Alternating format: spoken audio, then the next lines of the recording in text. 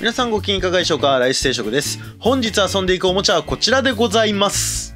はい、こちら大きい段ボールなんですけれども、こちらキングオブモンスターズ2019完全数量限定生産4枚組 SH モンスターアーツゴジラ2019ポスターカラーバージョン同梱版です。はい、こちら今年大ヒットいたしました映画ゴジラキングオブモンスターズの、まあ、ブルーレイ DVD のセットなんですけれども、まあ、こちらがあります通り完全数量限定生産4枚組ということで非常に盛りだくさんの内容となっております。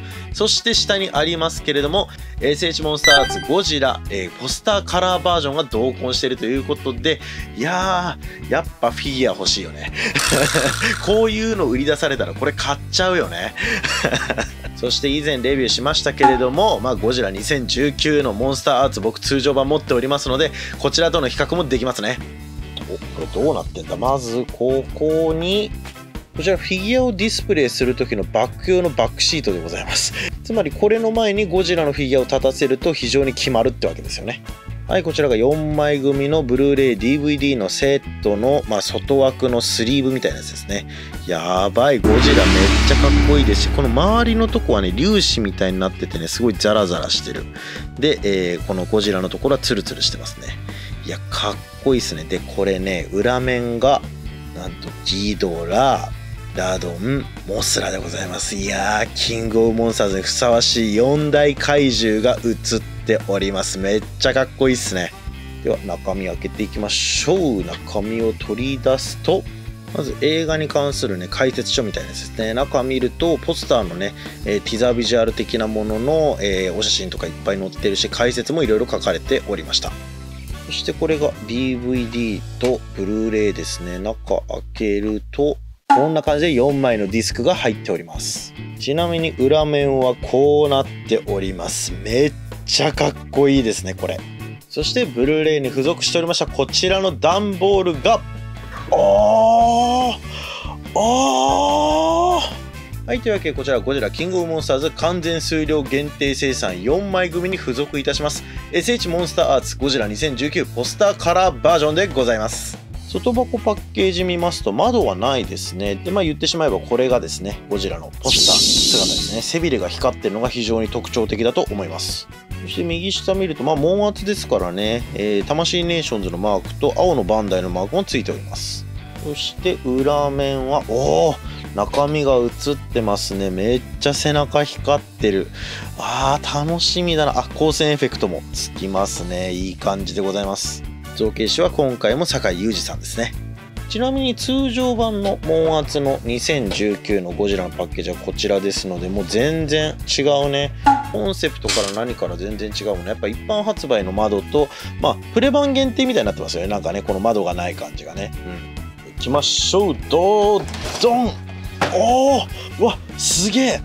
鮮やかなブルー。というわけでこちらは、えーポスターカラーバージョンのゴジラの本体。光線エフェクトと交換用の顎パーツ今回も付属しております。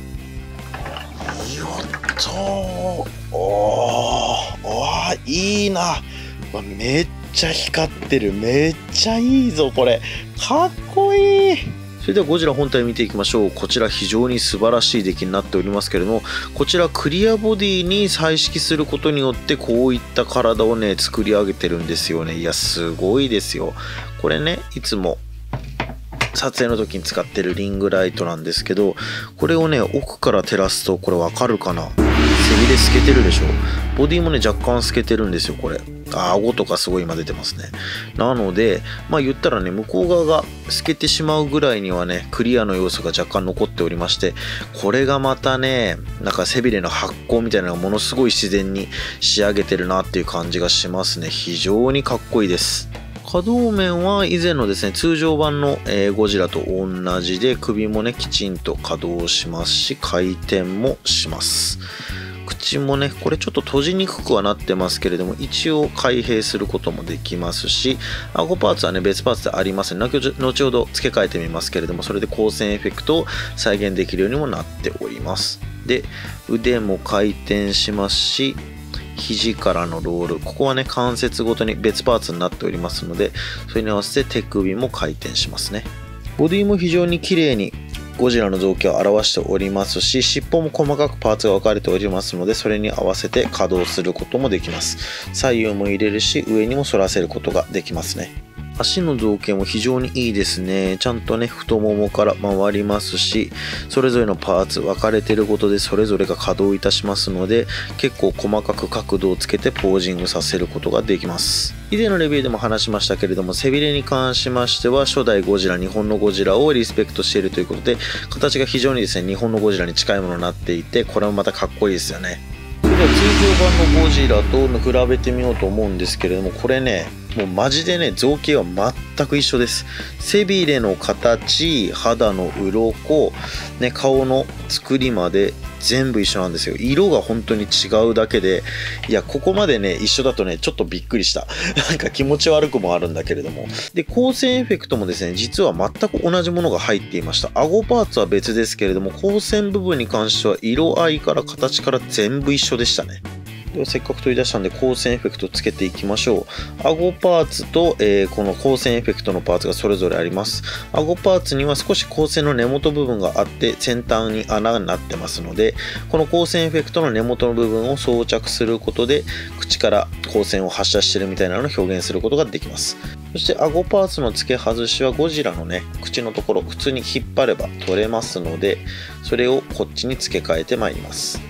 このように光線発射状態を再現することができます。そしてこれを上に向ければ今回の映画の特徴と見える光線エフェクトを上に向かって吐くポーズを再現することもできます。2体並べるとそういうショーみたいになりますね。そして最初に取り出しました背景ボード。こちらを組み立てますとより雰囲気を出して飾ることもできます。はい、というわけで今回はゴジラキングオブモンスターズの完全数量限定生産4枚組に同梱されておりました SH モンスターアーツゴジラ2019ポスターカラーバージョンをご紹介いたしました。正直通常のカラーバージョンよりもこちらの方がキングオブモンスターズの時のゴジラっていう雰囲気があって非常に気に入りましたね。クリアボディに彩色をさせるという非常に豪勢な作りで、いやーもう本当にね、飾り映えする一品でございました。まだね、これ届いてからブルーレイ見ておりませんので、これから見て楽しみたいと思います。本日の動画は以上となります。ご視聴ありがとうございました。